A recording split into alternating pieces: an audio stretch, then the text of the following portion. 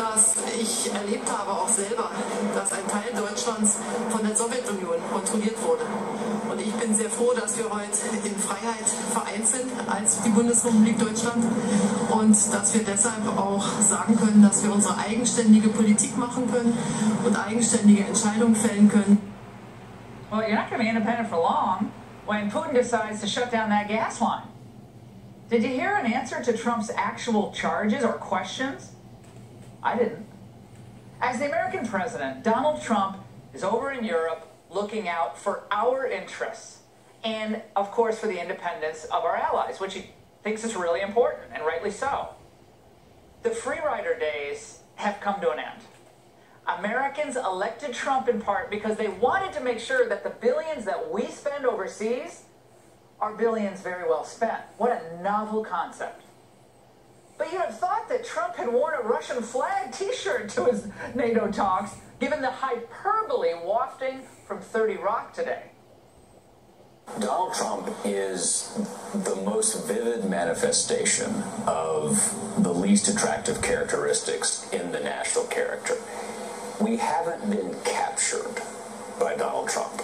We have had our worst instincts affirmed, exacerbated, and put in front of the world. He could not be doing Putin's bidding more effectively if he were an active agent of Vladimir Putin and the KGB. It's all coming uh, to, to fruition, and it, there is a basic reason why Putin wants to do it. In President Donald Trump, he has an American president who goes at NATO, hammer and tongs, and, and in a sense does Putin's work for it. What a ridiculous comment. Asking our allies to pay their fair share is, is going at NATO, hammer and tongs. He's actually trying to strengthen NATO by saying, we've got to keep this alliance together by keeping our military expenditures what we pledged to do and, and keep those at a level that, you know, is fair for everyone, 2%. But I got to tell you, this was perhaps my favorite of all the criticisms of Trump's NATO meetings today. What's the role of misogyny here? Uh, does Merkel remind him of Hillary? Uh, does that help explain the Theresa May issue? Uh, he does not have a particularly uh, healthy relationship, it seems, with, a lot of strong women.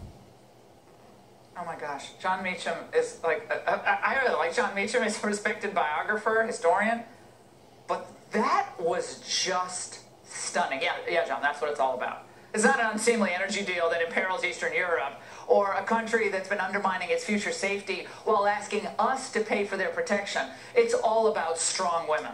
My God. Well, here's an observation from one. Mueller has come up empty in his quixotic quest to find Trump collusion with Russia, but perhaps he should turn his investigation to Germany, where politicians, current and former, are all too happy to sell out their own people for cheap Russian gas. Well, I won't hold my breath waiting for that probe to start. And in the meantime, I'm glad we have a president who is unafraid to upset the apple cart over in Europe and call out truly dangerous international collusion where it exists. And he's actually willing to do something about it. And that's the angle. Joining me now for reaction, Michael Santo, a researcher in international studies at the University of Miami. In London, very late, Raheem Kassam, former chief of staff to Brexit leader Nigel Farage.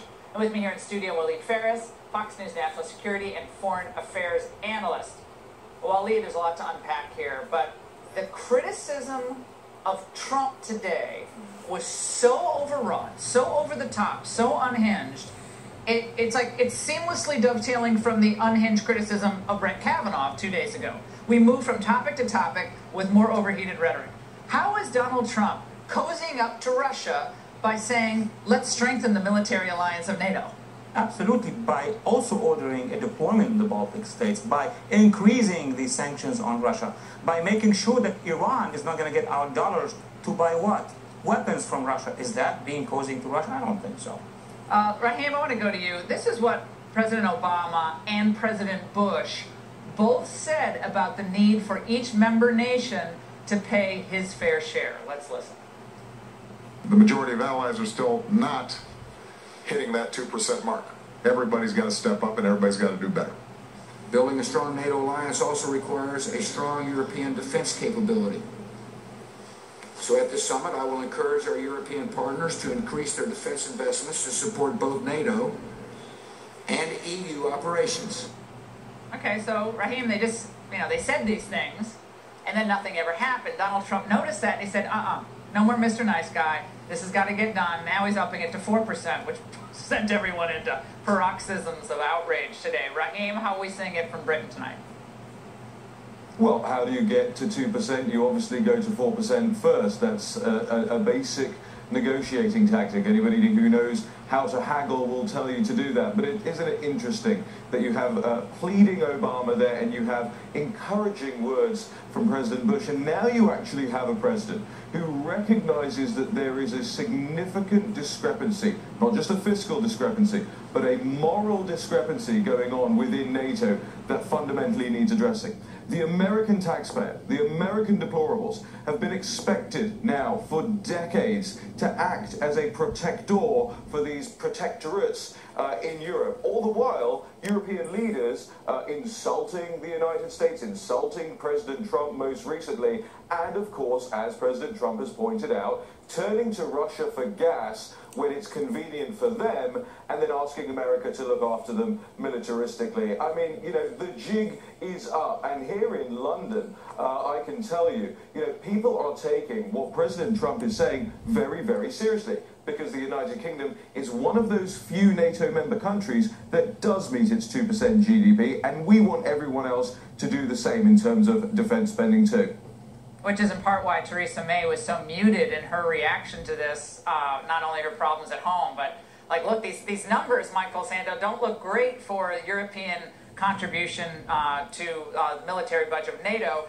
Let's check it out. Here are the countries that actually meet the 2%. As Raheem said, we have, uh, we have the United Kingdom, of course, the United States, Estonia, Greece, and uh, my, half Pol my half Polish side says Poland, go Poland.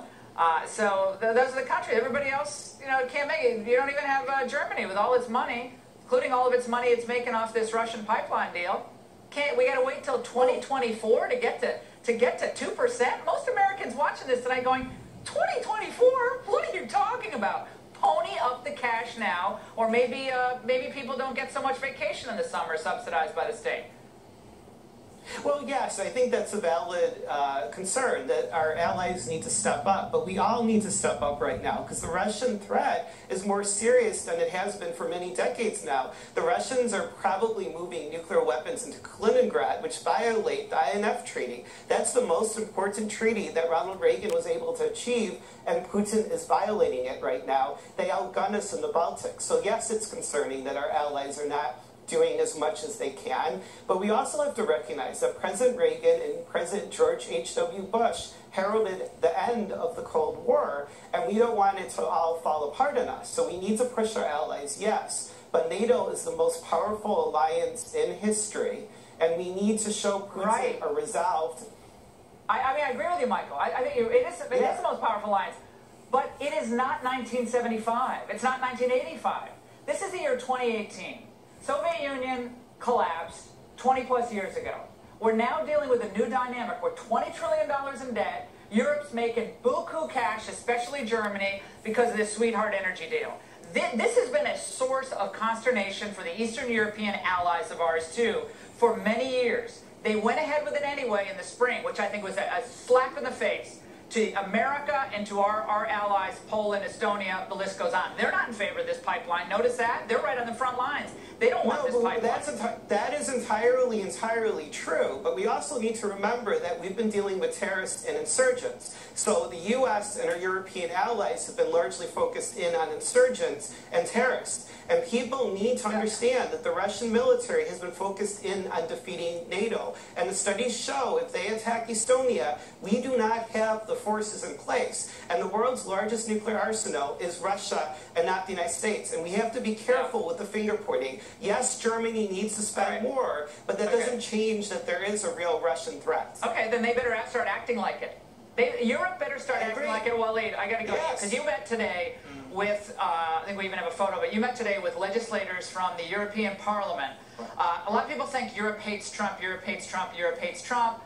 You found something different in your conversations today. What'd you find? Absolutely. After three days of meetings between members of the European Parliament, members of the US Congress, the myth that the so-called opposition media, mainstream media here, is presenting that everybody's united against President Trump is simply inaccurate.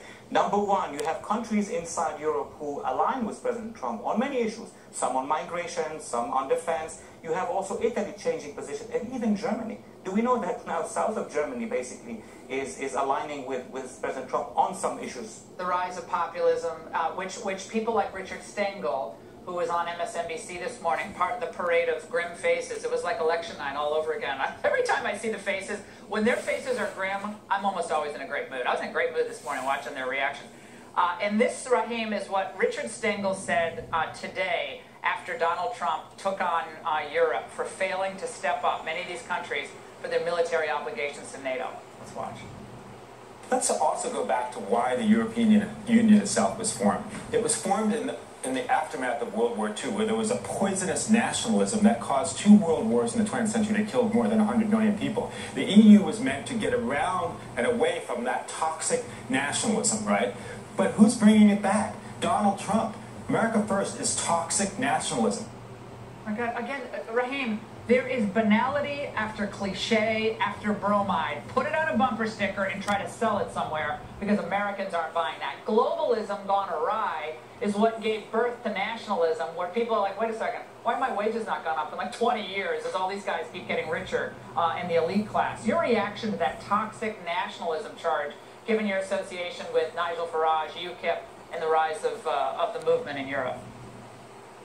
Yeah, absolutely. I mean, we've been doing this for years now, and whether you want to call it nationism or nationalism, some people call it populism or whatever. You know, you can put the word toxic in front of any word or phrase and suddenly it's an incredibly bad thing. But actually what nationalism is to the peoples across Europe, in Hungary, in Austria, in Italy, uh, in the United Kingdom with our Brexit vote, what it represents was actually, you know, we don't want our jobs sent abroad anymore. We'd quite like to manufacture things for ourselves. We'd quite like to control our own borders. What it is, is a return to the status quo. It's a return to normality.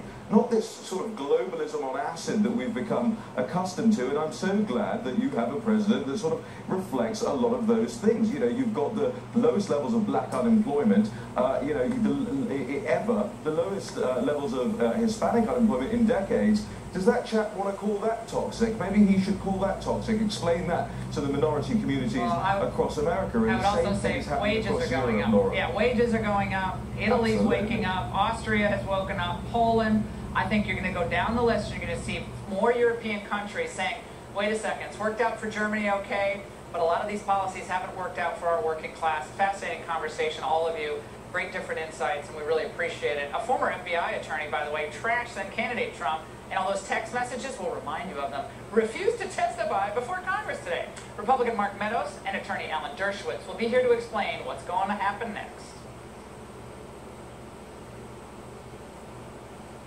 The Mitsubishi Motors Summer Season Pass Sales Event. 0% financing for 72 months.